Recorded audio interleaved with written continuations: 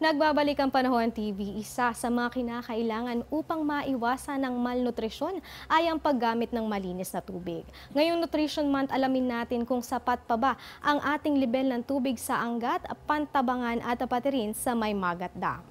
So as of uh, 6 a.m. at July 15, 2016 kahapon po yan, bumaba po ang level ng tubig dito sa may Angat Dam sa may Bulacan ng negative 0.16 na meters kung saan umabot lamang po ang level ng tubig sa 179.74 meters. Gayon din dito sa may Magat na bumaba naman ng negative 0.72 meters. Samantalang sa may Pantabangan naman, bahagya ding bumaba ito sa negative 0.12 meters kung saan naman ang level ng tubig ay umabot na lamang sa 186.04 meters. Samantalang hindi lang tubig ang kailangan natin. Kapag mainit kasi ang temperatura sa ating paligid, madaling mapanis ang pagkain. Kaya naman sisilipin natin ang agwat ng temperatura sa iba't ibang bahagi ng ating bansa. So unahin natin dito sa May Luzon kung saan ang Metro Manila. Meron po tayong minimum temperature na aabot sa 25 degrees Celsius. Samantalang ang maximum temperature naman ay nasa 33 degrees Celsius. Dito sa Baguio City, maglalaro po ang agwat ng temperatura sa 17 to 24 degrees Celsius.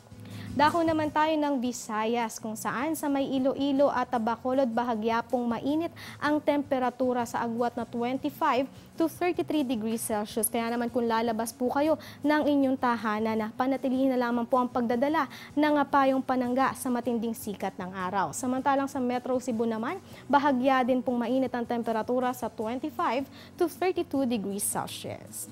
At uh, finally sa may Mindanao, ang Metro Davao po ang minimum temperature ay aabot sa 26 degrees Celsius at aabot naman ang maximum temperature hanggang 33 degrees Celsius. Dito sa may Sambuaga na may fair weather condition na mararanasan ngayong araw ay maglalarong agwat ng temperatura sa 24 to 34 degrees Celsius. Ngayon naman, alamin natin ang magiging lagay ng panahon sa mga susunod na araw base sa 3-day weather forecast ng pag-asa. So unahin natin dito sa Baguio City sa mga mamamasyal sa tourist destination ng ating ah, bansa.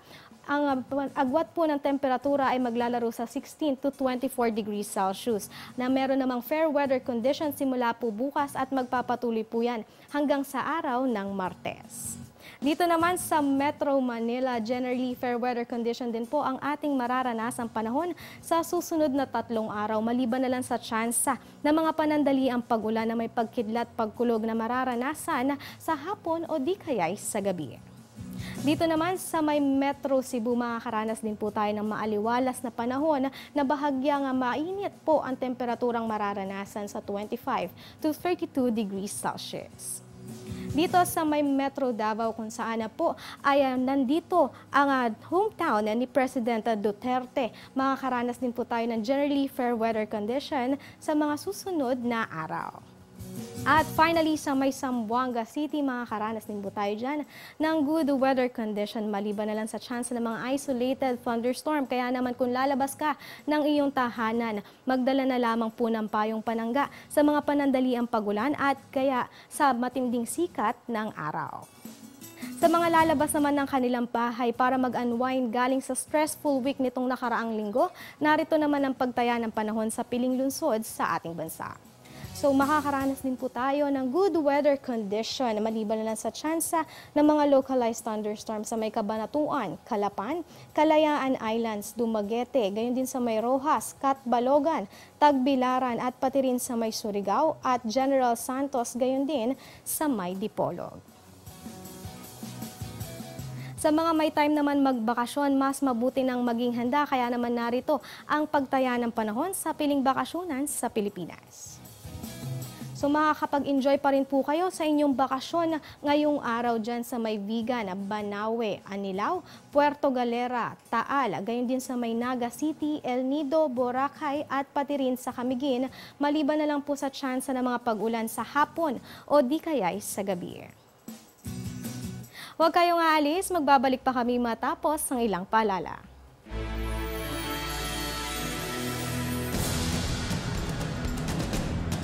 Mga dapat dalhin ngayong panahon ng tag-ulan. Laging magbitbit ng payong at raincoat. Magsuot ng waterproof na bota upang maproteksyonan ang paas sa baha. Magdala ng towel bilang pamunas kapag nabasa ng ulan. Mahalaga ang first aid kit para maibsan ang karamdaman o maiwasan ang mas grabing pinsalang dulot ng aksidente. Tandaan na tuwing panahon ng tag-ulan, iba yung pag-iingat ang kailangan.